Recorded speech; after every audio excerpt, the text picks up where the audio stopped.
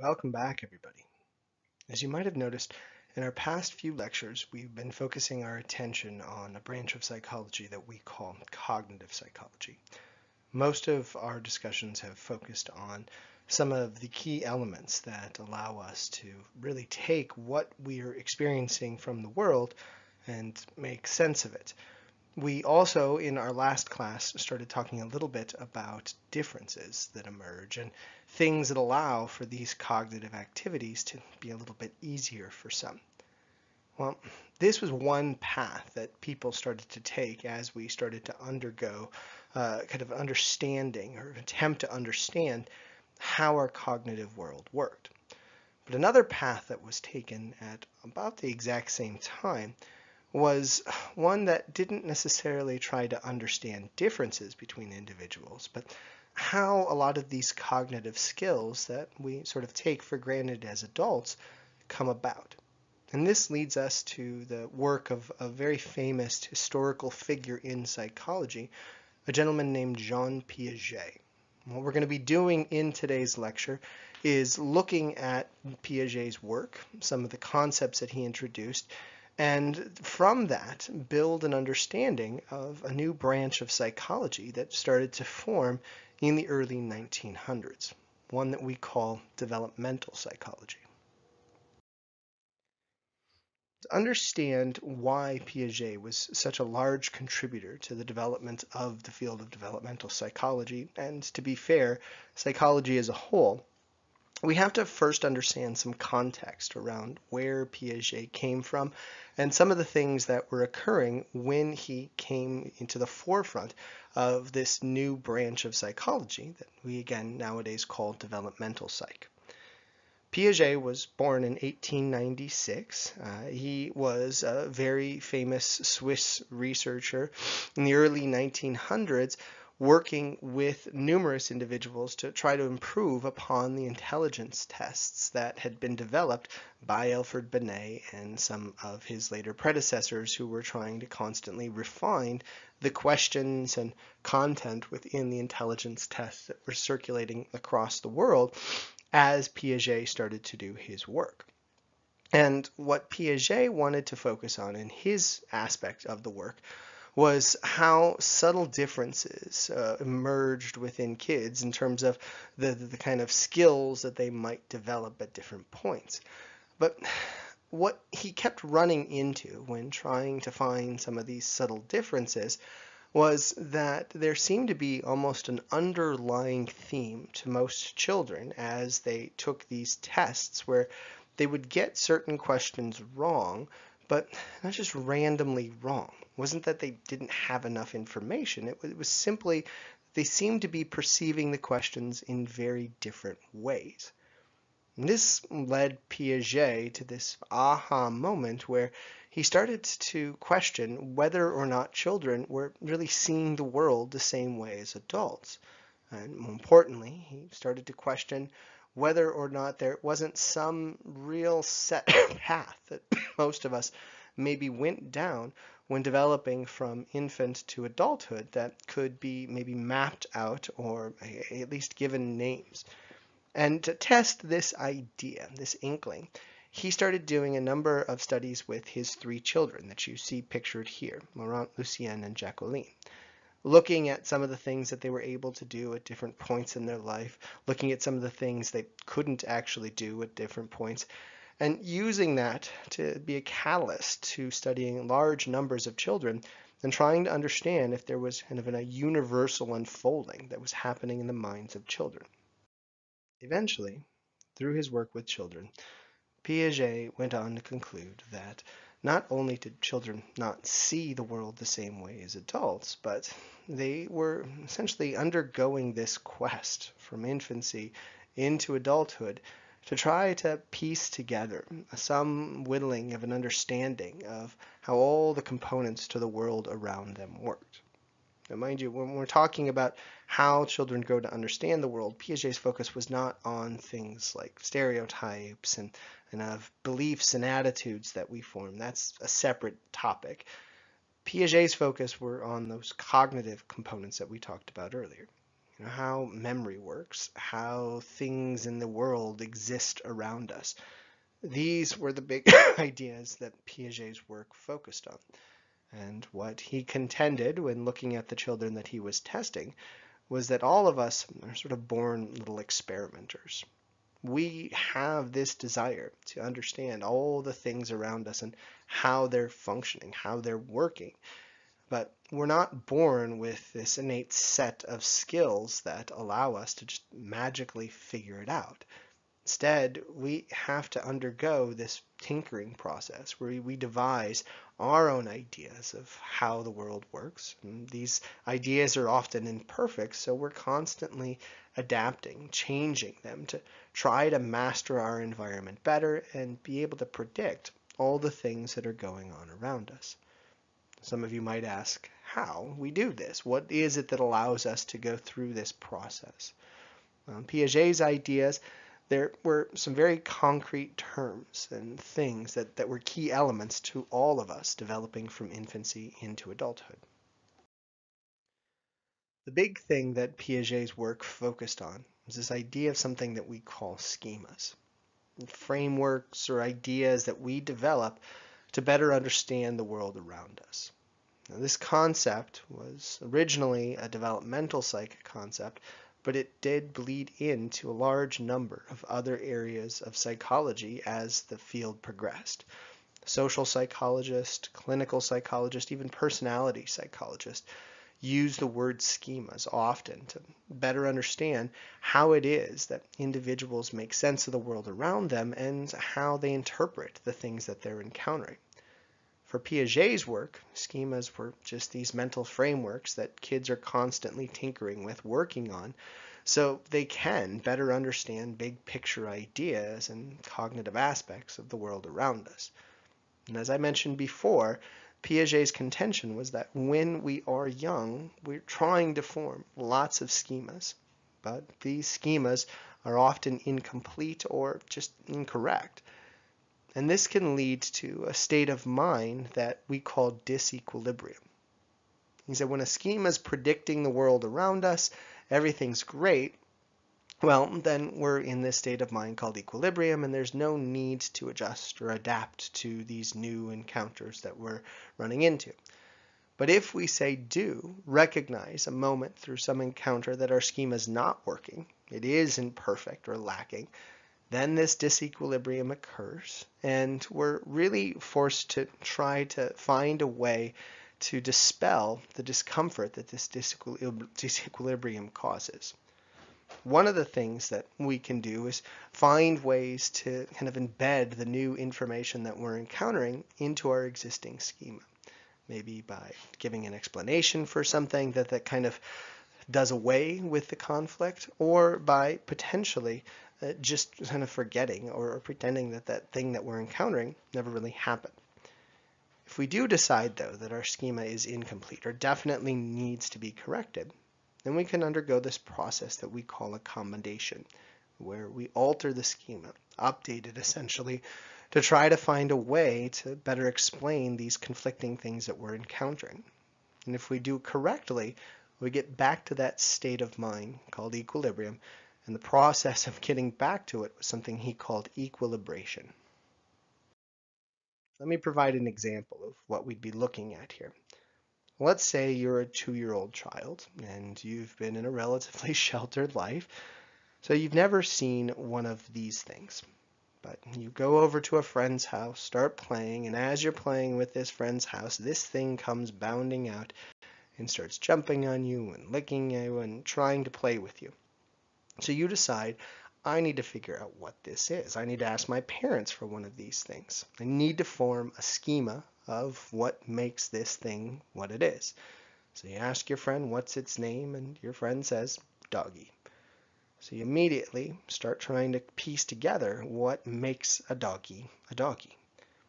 You come to the conclusion that maybe having hair makes a doggy a doggy, or having floppy ears makes a doggy a doggy, or having four legs makes a doggy a doggy, or maybe the tail's the big thing, or maybe it's all these things packaged together.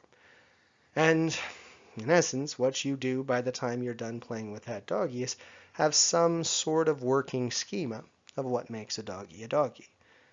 And this schema can sometimes help us navigate in future situations. So let's say you go to a pet store and you point at something with the fur and tail and everything and you say doggy and your parents say, yeah, that, that's a doggy. Maybe you start pestering them more and more about needing a doggy or wanting a doggy. And then let's say you go to a different friend's house. And instead of this doggy bouncing out, this doggy comes bounding out around the corner. You see the floppy ears, you see the tail, you see the playfulness, you see the hair, and you immediately decide, must be another doggy. So you call it a doggy, and all of a sudden, people start correcting you. You maybe go to the store a little bit later and point to a different thing that you thought was a doggy that looks a lot like this new thing, and your parents say, no, it's not a doggy. That, that's, that's a different thing. Maybe you're even told well, that's a kitty. Well, this could theoretically create some state of mind that, again, we call disequilibrium. You could potentially assimilate the first couple of times, thinking that maybe they thought you were talking about the face, or maybe you thought they were giving this particular doggy a name and they called it Kitty, and maybe you weren't allowed to have this one because somebody named it Kitty. Uh, lots of things could happen when we assimilate and keep our schema. But if you keep encountering conflicts and people keep pointing out that these are not the same thing, according to Piaget, we'd start to accommodate. We'd start to alter our schema and find ways to better differentiate between the picture on the left and the picture on the right his contention is that you've all done this. I'm guessing there's nobody in the class that thinks of these two things as the same animal, but for you to be able to do that, you've theoretically found a way to separate these out. And in fact, some cognitive psychologists, which is kind of cool, have tried to parse out all the things that you as adults do to separate these out because it's it's almost implicit by the time we reach adulthood.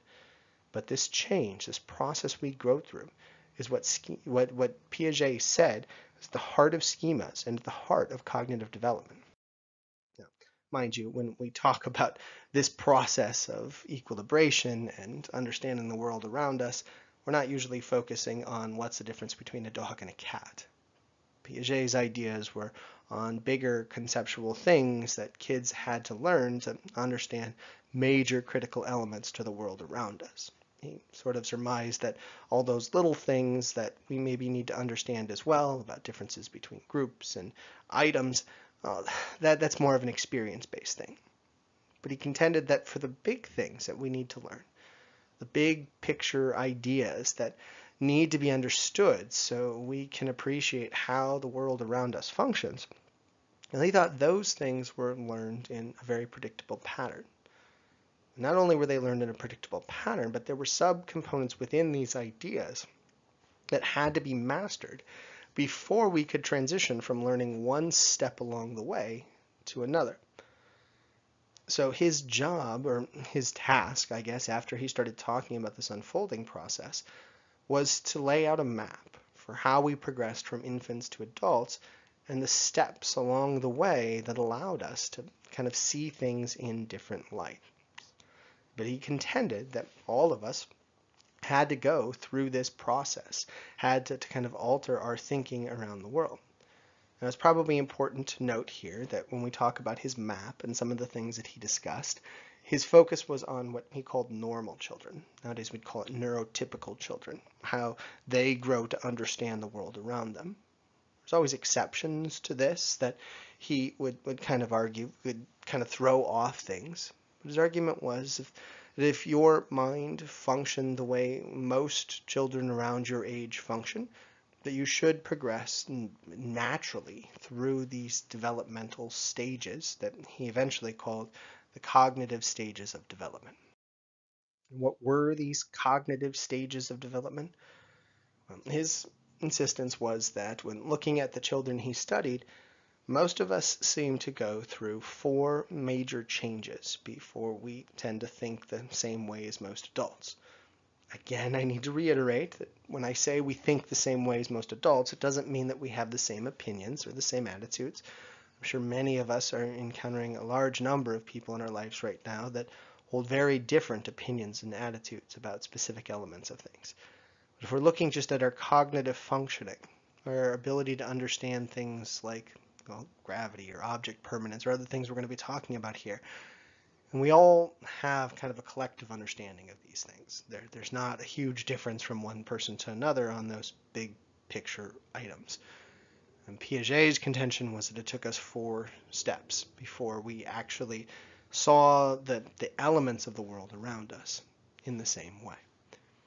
The first stage he said we're in when we're born is something he called the sensory motor stage, where, as the name kind of implies, we're developing lots of sensory skills and motor skills, understanding essentially how those tools we've been talking about before in previous classes work. After we master those things and a couple other new elements that we'll talk about a little bit later, we move on to something called the pre-operational stage. Somewhere around one and a half to two years of age, we start into this stage and start to develop the first components of what he called operations, kind of mental ways of interpreting and understanding the world around us. We'll get into those a little bit later as we progress, but you know, before we do that, I, I want to also point out that there are two other stages. What's called the concrete operational stage, where we get into much more complex things, and the formal operational stage, where we get into more hypothetical, conceptual ideas that our minds and brains are able to digest for the very first time because of some of the earlier tools that we develop. For the remainder of this class, we're going to spend a lot of time focusing on the specific stages that Piaget laid out. And then at the very end, we'll talk about some critique and kind of updates to this theory that people added when we wanted to, to get a better, more comprehensive understanding of how cognitive development worked and then kind of build from that to understand how developmental psychology formed after the work of Piaget. But let's first, again, dive in to some of the key elements of these different stages that Piaget proposed. So let's take a closer look at this first stage of development that we call the sensory motor stage. As I mentioned earlier, the main focus for children developing during this stage is to find a way to make sense of this information that's coming from our sensory organs and also to find a way to coordinate reactions to this. If this were a lifespan development course, we'd be talking about these things called primary, secondary, and tertiary reactions, uh, looking at kind of this progression of our ability to further implement and understand the world around us, and then gain a greater understanding of how to react to those things we find in our environment. There's lots of debates in our current field of cognitive development about what really allows for these skills to develop. Uh, some that argue it's an innate thing that just happens at specific milestones, and others that focus on the social components to it, and maybe the desires that prompt the development of a lot of skills. But if we're looking at other things that are a part of this sensory motor stage, it's important to note that we go beyond just learning those two components, our sensory skills and motor skills, during the first year and a half to two years of our life. Two other really critical elements to the sensory motor stage that Piaget detailed was the ability to understand something called object permanence and the first formations of this thing that he called a sense of self. Object permanence was this idea that things continue to exist and retain their properties even when unseen. His classic test that he'd do to determine if kids understood object permanence was to place a toy or something indesirable in front of them and then cover that toy or block that toy from their view, seeing how the children would react. He contended that at about one year of age, kids started to display some understanding of object permanence by trying for the very first time to reach around the thing that was blocking their view or maybe reach under the thing that was covering what it was they were looking at. And his implication was that this was maybe the first inklings of them understanding object permanence. Current researchers have rejected this notion that it takes until about a year for children to develop this, in fact, some studies have suggested that kids might be able to understand this idea as young as two or three months of age. But nonetheless, it does potentially give us a big insight into some of the struggles that children undergo at very young ages when, say, parents disappear or something they want isn't in sight. Uh, that idea that something's not just missing, but gone from existence, would be chilling to all of us if that was the way we understood the world. And if we do start to develop it, even at two or three months, there's still lots of questions as to how strong an understanding of this is until we do get to about a year of age. Something that coincidingly is happening at this time is we're learning to kind of understand that we're a part of this world around us. Now, there's other elements developing this sense of self that we talked about. Uh, and, and we will look in it a little bit later when we get to adolescence and, and kind of a new definition of who we are. But this early inkling of a sense of self is this notion that we start to recognize that people can see us, that they can interact with us, and that there's essentially an us that's there. Uh, the classic test that he developed was this thing called the rouge test, where he would paint rouge or red on the noses of children, having them look into mirrors and seeing how they would react, suggesting that if they reacted to the red that was on the noses of the individual in the mirror and trying to kind of touch it or see it closer, it suggested that maybe they didn't recognize their own reflection and in turn hadn't really developed that sense of self. Again, he insisted it was about a year to year and a half before kids start to master this. And when they've gotten it, along with some of the sensory motor skills that we talked about earlier, well, then it's time for them to progress to the next stage of development. Now, as children reach about age two, Piaget contended that they started to progress into something that we call the pre-operational stage. It was this transition from just being able to control our body and understand the world around us to really trying to understand some of the cognitive elements of the world. The term operations is a real key element to this next process that many kids go through, at least according to Piaget and other cognitive psychologists that have looked at this closer.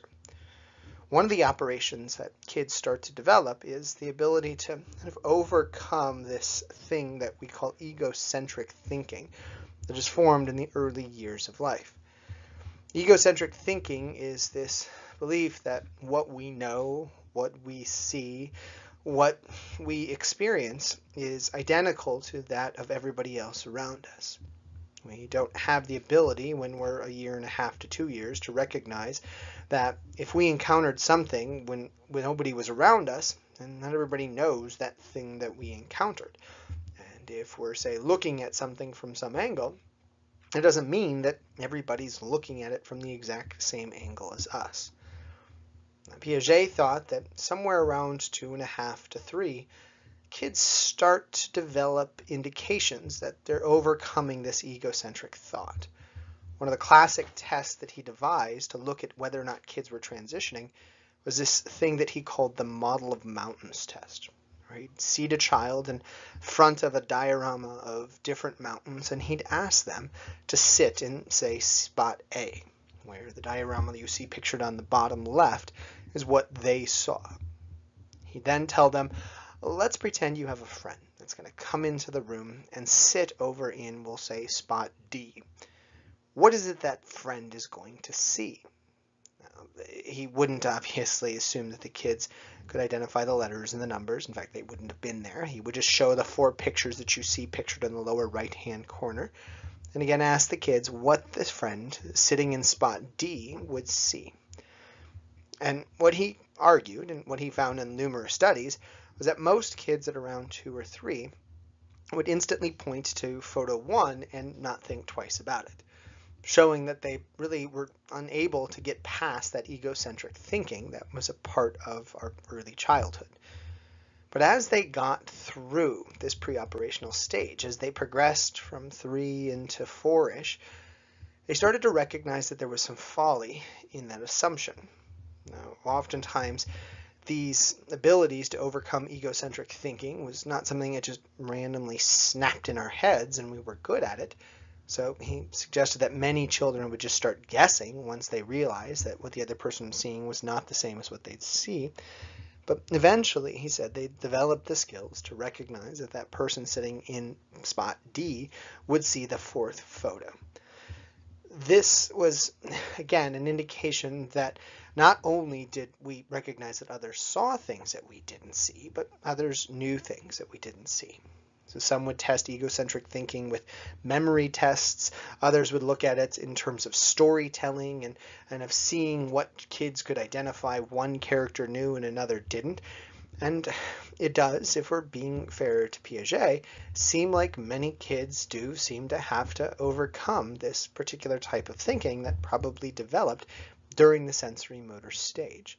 And eventually, in this preoperational stage, for most children, uh, we do get past the point of having this type of thinking occur. Maybe we're not perfect at it, but we get a little bit better as we progress.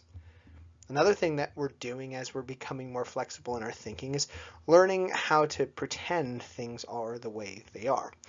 A classic example of this is actually depicted in the upper left-hand corner where you see two sisters having a tea party.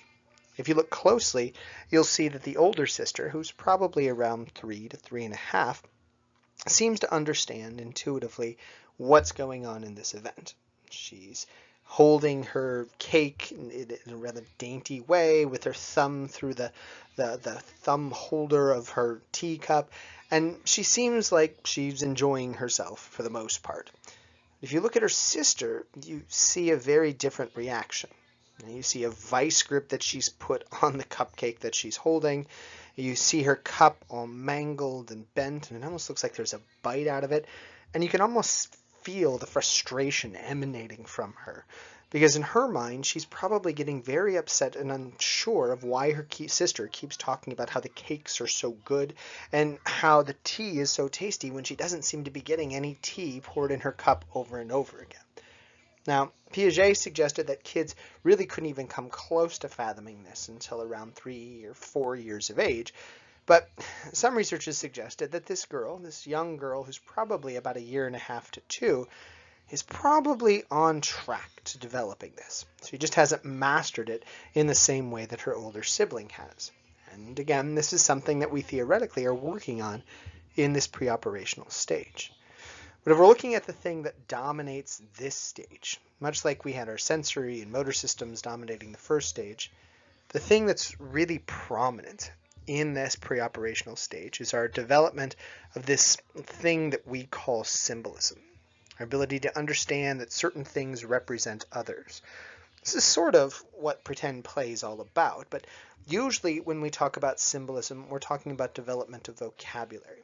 Our ability to understand the, the words that go with specific things. Numerous studies have shown that children between the ages of two and around seven undergo this insane vocabulary growth spurt, regardless of the language that they're speaking. In fact, many models have struggled to quantify how something like this is even possible when we see kids going through stretches for a few years of their life where they learn somewhere between seven and ten words a day, something that, that's just unfathomable for most models.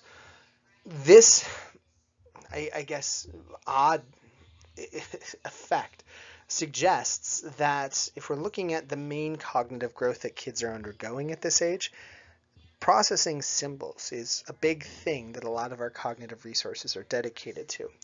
And it, it does eventually result in some very robust growth in vocabulary and also better comprehension of the conversations that kids are engaged in to where you transition by the age of two to just saying a few words to being able to have full conversations by four or five, and actually being able to engage in adult-like conversations by the time we reach the end of this preoperational stage. It's important to note, though, that there was, according to Piaget, one last thing that we needed to learn at the end of this preoperational stage.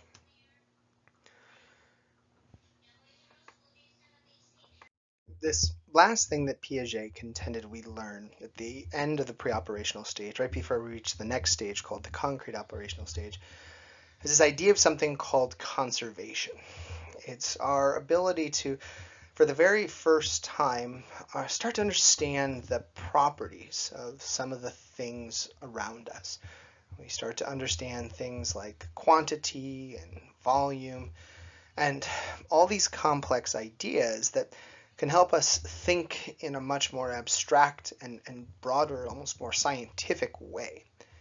The classic test that Piaget used to determine if kids were just getting an inkling of the idea of conservation is actually depicted in the two images that you see in front of you. If you look at the picture on the left, you see a researcher asking a child with two beakers filled equally in front of them, which beaker contains more fluid, the one on the left the one on the right, or do they have the exact same amount? And almost all children at every age, once they understand what the question is about, will start by saying that they have the same amount. And then in the second picture that you see on the right, you see the researcher flipped one of the beakers. It doesn't mean that anything was poured out. It doesn't mean that anything was added. Just one of the beakers was flipped over. And then that researcher asks the child the same question which one has more, the one on the left, the one on the right, or they're equal. And what Piaget and others tend to find is that most children at around, I'm guessing this kid's about four-ish, uh, around age four, tend to indicate that the one that's higher is the one that contains more fluid all of a sudden, even though that same child had just indicated that they were the same.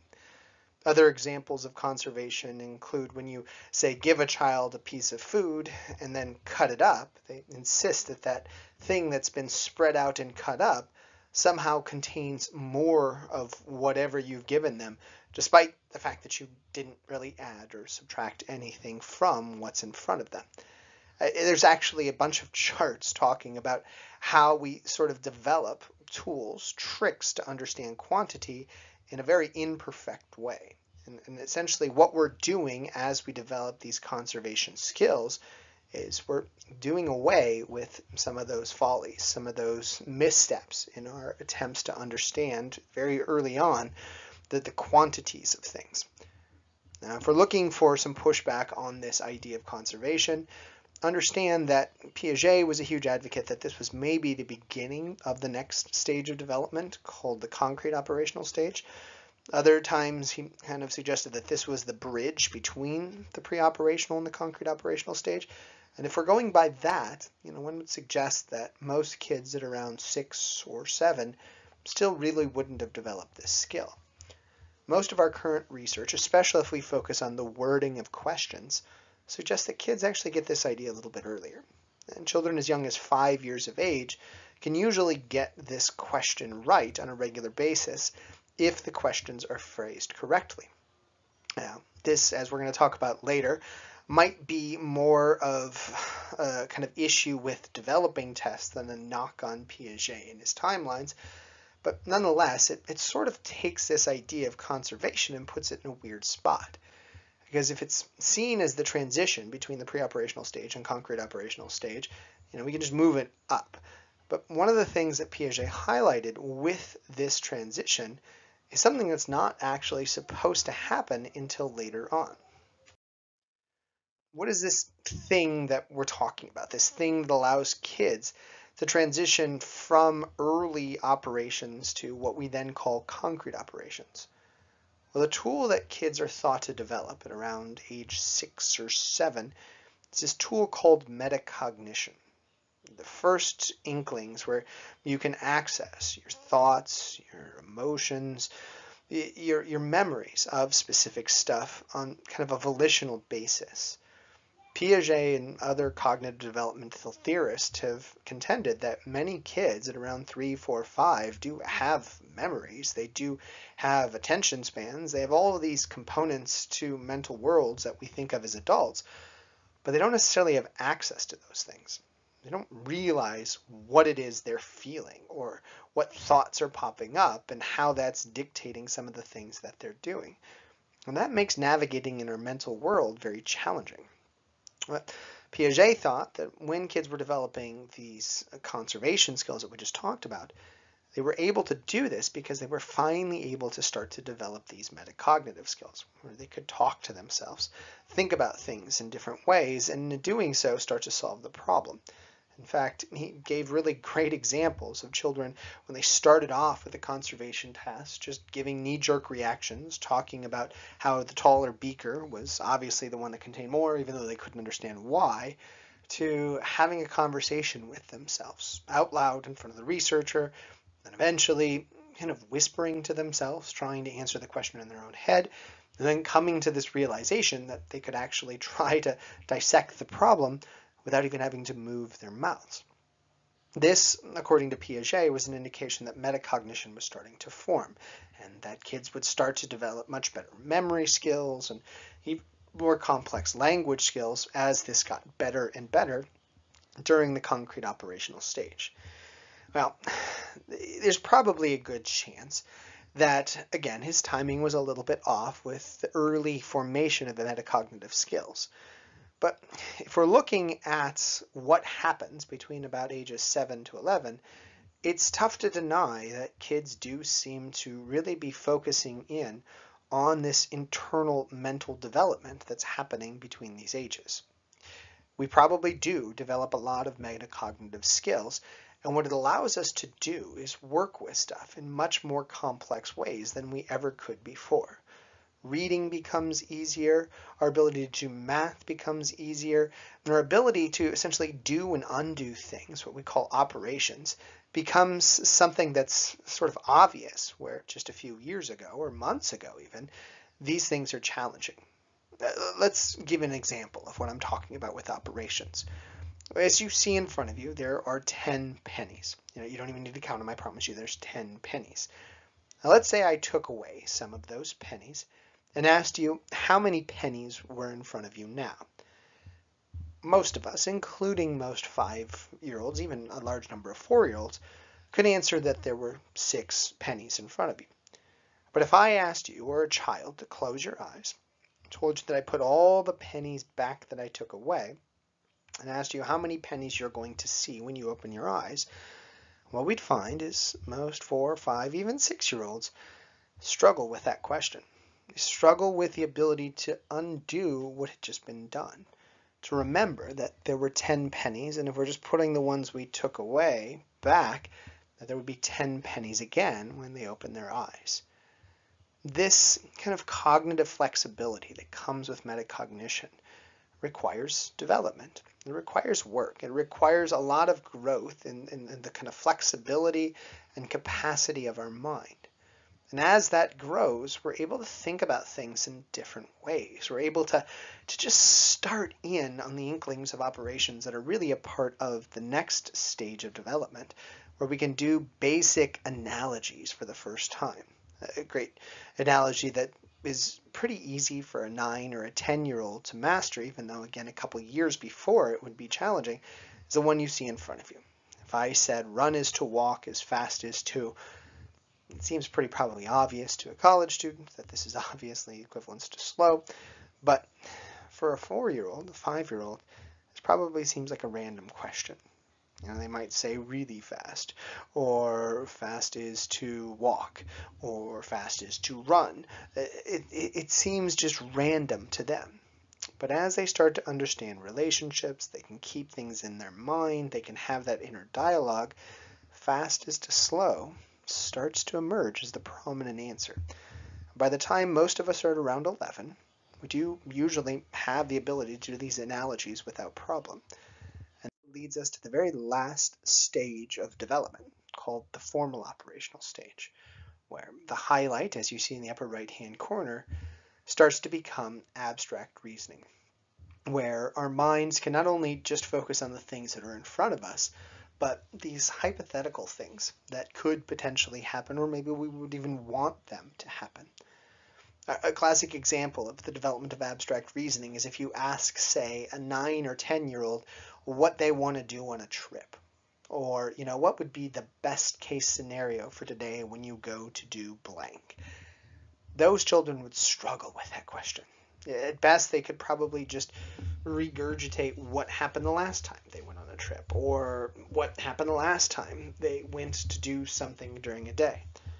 But as we progress, as we get into this formal operational stage, kids can start to postulate what might happen based on a collection of different elements, or maybe even what they'd love to have happen in this situation, thinking about a multitude of possibilities that they might encounter.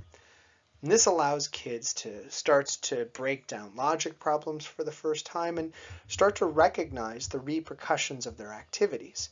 But it's important to note that as we're developing this abstract reasoning, it's not like we go from 0 to 100 without any bumps along the way.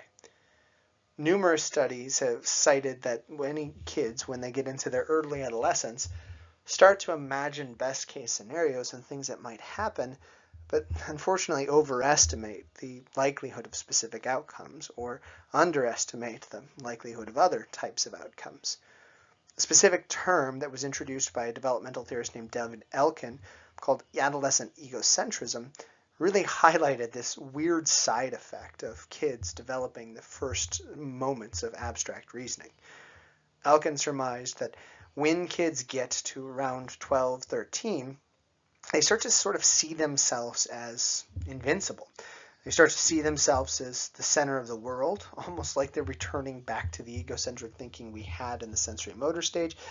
And they start to see their lives as having some sort of story to it, something he called a personal fable. And he suggested that this combination of things could be very dangerous for young kids because it would lead to us trying to do more dramatic things, risky things, and not thinking about the consequences of our behaviors. Because, well, we're not quite there about being able to really estimate, calculate out what consequences could come about if we do certain things. But Elkind's insistence, and the insistence of Piaget, was that this was more of a temporary fad. That by the time we reached around 15 or beyond, We'd mastered that problem and we'd all started to think the same way other adults think. As a reminder, it doesn't mean we all agree on everything or we have the same attitudes about stuff. In theory, Piaget and Elkind and other developmental theorists that support this idea suggested that at 15, all of us have the same tools that we're using. Our minds are kind of processing information in the same way, even if we do things differently with that information that we're processing. And this really wraps up the general idea of Piaget's, that when we look at children, we're seeing individuals that still need to develop a lot of tools. And as we naturally age, we naturally encounter problems that lead us all to kind of overcoming certain hurdles at pretty much the same time. Piaget's insistence was that this was just something that happened as a byproduct of the world around us. Extra coaching or interventions maybe tweak things a little bit, but never to the point where somebody could be in a completely different place from somebody else. He almost suggested that all of this was kind of biologically innate, even though he never took that extra step. And this was something that many people just embraced at the time, but current researchers have actually brought into question. Many researchers, when trying to replicate Piaget's original studies, or more importantly, refine them to change the wording of questions or change the structure of tests, have found that Piaget's timing and cutoff for when we learn a lot of the concepts that we talked about earlier seem to be off.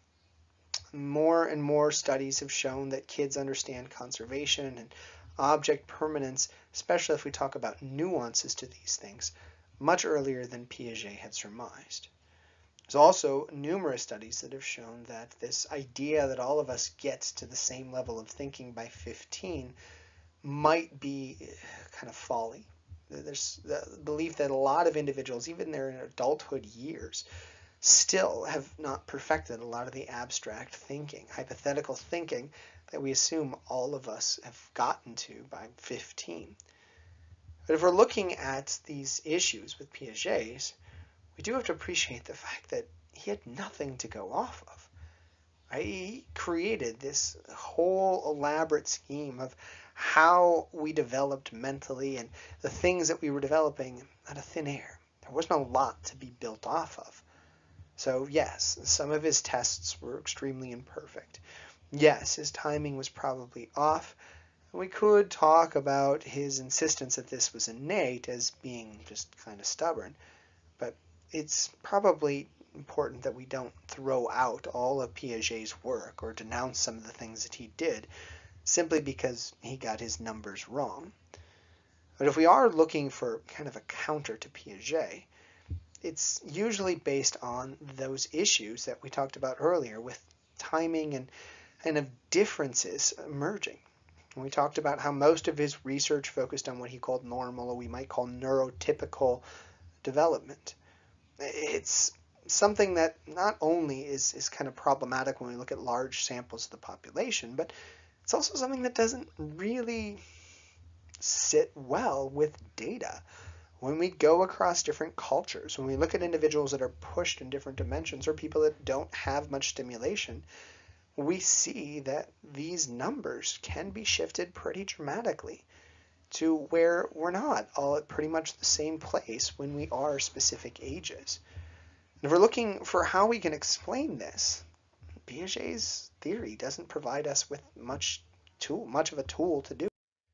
Instead, what we often lean on is the work of another theorist named Lev Vygotsky, who pretty much at the same time as Piaget was focusing his attention on how these cognitive skills that we'd started studying in psychology were coming about. Vygotsky, though, didn't insist that he wanted to create a roadmap for how we went through things. He just wanted to focus his attention on the process, how we were able to sort of make sense of stuff and, and how this process could vary from individual to individual. To discuss this, he introduced some very important terminology that we still use today in cognitive development research and also educational studies. One term that he talked about that made him very popular is this idea of something called a zone of proximal development. This sort of phase when a child was able to master some of the cognitive skills that we talked about earlier with Piaget, but not necessarily master them on their own. Maybe master them through the help or aid of certain people or things. And if we're talking about what could speed up a child when they got into this zone, there was another term he used called scaffolding, where we try to get somebody to understand a concept by sort of challenging their thinking. And in, in doing this, we, we teach them about something at a level slightly above their own. Say, for example, we want a child to understand conservation. So we have them interact not with a teacher that understands things well, but a child that maybe just got over their conservation problems. And we have them give the other child a test. And through their slightly different wording, through their way of explaining it, that might help the younger child who's in that zone master that idea all the faster. Now, this might lead you to question whether or not we should accept any of Piaget's ideas, or whether or not you know Piaget had it all wrong and we should just fully support Vygotsky's, whose idea was maybe too simplistic. It's not where I want you to go with this. What I want you to get from what we've covered here is that developmental psychology was a very broad reaching field, even in its early stages. And it continued to grow as the work of Piaget and Vygotsky started to be dissected and people started to find their own niches that they could explore. And that's where we're going to go after talking about this. We're going to look at what developmental psychology is all about, and we'll also explore some of the other theorists and work that was done to really expand upon some of these early ideas of Piaget. But for today, I think we're probably at a good place. So please make sure you come back.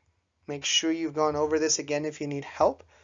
And then after this class, after this lecture, uh, just be prepared to explore some other ideas tied to this really budding, huge area of psychology that we call developmental psych. I'll see you then.